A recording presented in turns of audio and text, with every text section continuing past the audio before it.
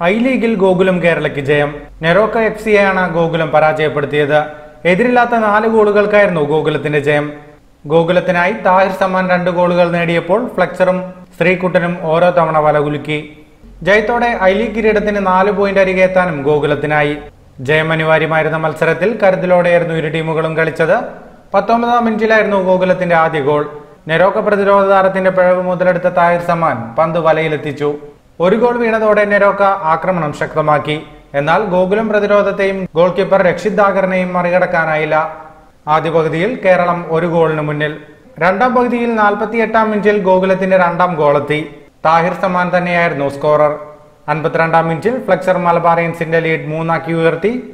മത്സരം അവസാനിക്കാനിരിക്കെ തൊണ്ണൂറ്റി മൂന്നാം മിനിറ്റിൽ ശ്രീകുട്ടൻ നെറോക്കയുടെ ശവപ്പെട്ടിയിലെ അവസാന താണിയും അടിച്ച് നാലാം ഗോൾ നേടി. പതിനഞ്ച് മത്സരത്തിൽ നിന്ന് മുപ്പത്തിയേഴ് പോയിന്റുള്ള ഗോകുലം ഐ ലീഗിൽ ഒന്നാം സ്ഥാനത്ത് തുടരുകയാണ്. രണ്ടാം സ്ഥാനത്തുള്ള മുഹമ്മദ് അനസുമായി ആറ് പോയിന്റ് വ്യത്യാസമാണ് ഇപ്പോൾ ഗോകുലത്തിനുള്ളത്. ലീഗിൽ ഇനി മൂന്ന് മത്സരമാണ് ഗോകുലത്തിന് ബാക്കിയുള്ളത്. ഇതിൽ നിന്ന് നാല് പോയിന്റ് നേടിയാൽ കിരീടം നിലനിർത്താൻ ഗോകുലം കേരളയ്ക്ക് കഴിയും. ഇന്ത്യൻ ഫുട്ബോളിലെ കൂടുതൽ വാർത്തകൾക്കായി പന്തോളം ഇപ്പോൾ തന്നെ സബ്സ്ക്രൈബ് ചെയ്യൂ.